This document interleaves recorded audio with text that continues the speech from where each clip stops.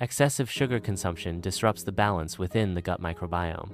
Large amounts of sugar feed harmful bacteria and yeast, leading to their overgrowth. This imbalance reduces the diversity of beneficial bacteria, weakening the gut's essential functions. Reducing intake of processed foods and sugary drinks helps restore balance. Increasing consumption of fiber-rich foods promotes the growth of beneficial bacteria. A balanced gut microbiome supports nutrient absorption and immune regulation. Chronic stress negatively impacts gut health by altering gut motility and increasing intestinal permeability.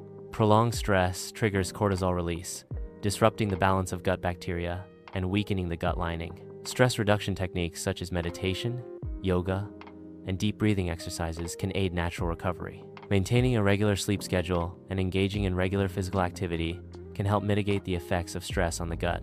Antibiotics can indiscriminately kill both harmful and beneficial bacteria in the gut. Disruption of the gut microbiome can lead to a loss of microbial diversity and an overgrowth of opportunistic pathogens. Probiotic-rich foods like yogurt, kefir, and fermented vegetables help replenish beneficial bacteria. Prebiotics, such as garlic, onions, and bananas, provide nourishment for beneficial bacteria, aiding in their recovery and growth. Restoring gut health after antibiotic use requires both replenishing beneficial bacteria and nourishing them.